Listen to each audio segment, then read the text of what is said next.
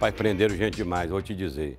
Essa Polícia Federal do Brasil, a Polícia Civil do Piauí, a Segurança Pública do nosso Estado, nunca trabalhou tanto.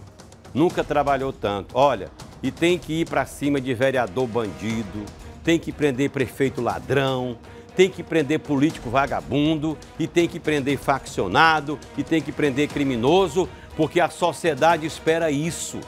A sociedade quer uma resposta. O cidadão de bem, a dona de casa, o pai de família que trabalha, ele quer poder andar na moto dele, andar no carro dele, dormir na casa dele, sem ser escarreirado por bandido. Olha isso aqui, ó. Nove pessoas presas em Uruçuí, no sul do estado. Antônio Almeida, Baixa Grande do Ribeiro e Guadalupe. Tudo isso lá no sul do Piauí. Bandido fazendo diabo por lá. Cinco veículos roubados e muita arma de fogo foram apreendidas. É, é o governo chegando. É a força da polícia dizendo: comigo não, violão. Bandido aqui vai pra taca. Mostra aí, Sérgio Olon. Na operação, a prisão de nove pessoas, além de apreensão de drogas, armas e munições. A ação aconteceu no sul do estado, nos municípios de Uruçuí, Baixa Grande do Ribeiro, Antônio Almeida e Guadalupe. Ao todo, foram sete mandados de busca e apreensão.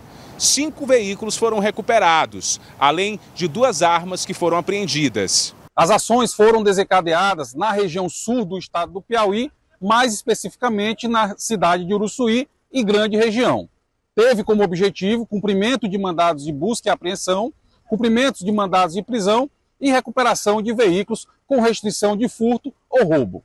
Até o momento, oito pessoas foram presas por força de mandado de prisão, foi dado cumprimento a outros sete mandados de busca e apreensão e cinco veículos com restrição de roubo foram recuperados, duas armas de fogo apreendidas. Essas ações irão continuar com o objetivo de combatermos a criminalidade e levarmos paz ao trânsito população acredita quando prende bandido e mostra que o trabalho está sendo feito. E essa Polícia Federal do Brasil, vou te dizer, a civil aqui no estado e a federal também. A Polícia Federal hoje amanheceu ah, na porta de muita gente aqui em Teresina, lá em Oeiras e, e no Maranhão.